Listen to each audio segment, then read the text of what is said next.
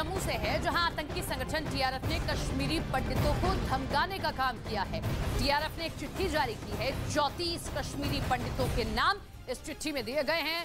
धमकी इस चिट्ठी द्वारा दी गई है। इस चिट्ठी में चौतीस कश्मीरी पंडितों के नाम हैं, उनके पते हैं और इसी के साथ इस सूची को सार्वजनिक करने का काम टीआरएफ आतंकी संगठन द्वारा किया गया है, ताकि कश्मीरी पंडितों को डराया और धमकाया जा सके।